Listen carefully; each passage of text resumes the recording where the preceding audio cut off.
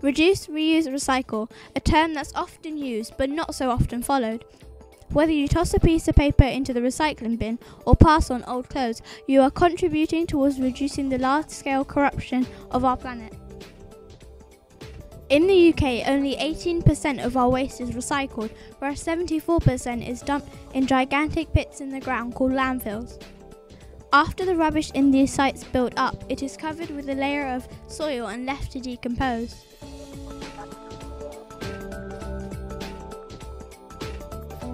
As this rubbish decomposes, it releases a greenhouse gas called methane into the atmosphere. I know what you're thinking. How is this ruining the planet?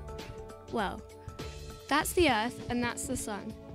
The Earth is surrounded by a layer of gases called the atmosphere.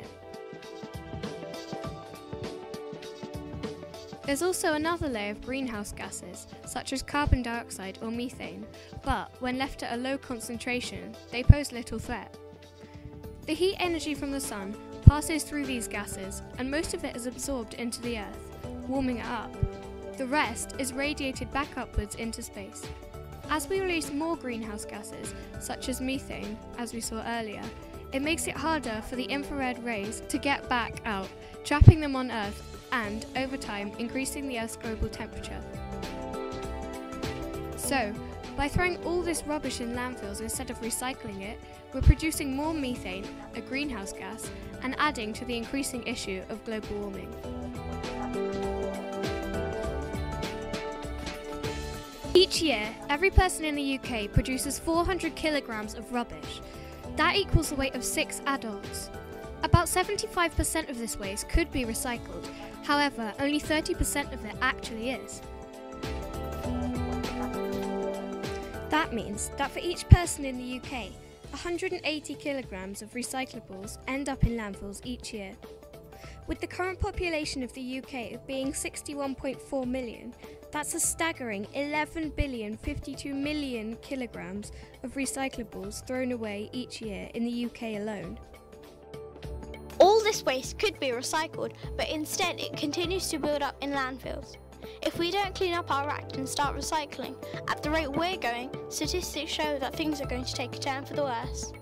Figures showed that in 2025, the amount of rubbish we produce will almost double what we do now, and the world will be producing over 6 million tonnes of rubbish per day. If nothing is done, rubbish productions will continue to rise at these rates, and in 2100, the world will be producing over 11 million tonnes of waste per day. As we learned earlier, the methane that this decomposing rubbish gives off is adding to the issue of global warming. In fact, methane is 20 times more potent as a greenhouse gas than carbon dioxide.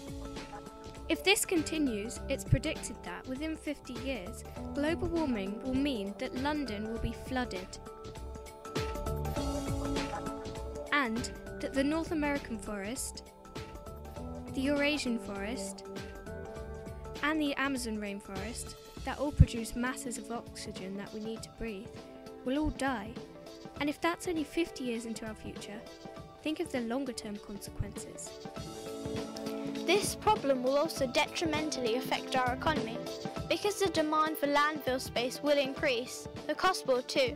And if we don't start recycling more of our waste or change our methods of disposal, rates are going to go through the roof. But don't worry, there are ways to prevent all this. Reduce, reuse, recycle. It's as easy as it sounds. Reduce. Stop unwanted mail. We all have those letters that we never read. That magazine that we don't care about anymore. Well, unsubscribe to stop the wasteful production of this paper. Think before you shop. Buy products with less packaging. Instead of plastic bags, buy reusable bags. And buy reusable items like real plates and cutlery instead of plastic ones. And most importantly, only buy what you'll use, don't waste. Reuse. Give to charity. When a piece of clothing gets too small, or you finish with a book or toy, don't throw them away. Give them to charity, and I guarantee that they'll find a better home than in a landfill. Buy second hand. Just because things are used doesn't mean that they're bad. Upcycle old materials. for example, clothing, to make something new out of something old. This reduces the amount of materials being produced and is also a really fun project. Recycle, the obvious one. Think about if something can be recycled before you throw it in the bin and contact your council if you need any help regarding recycling.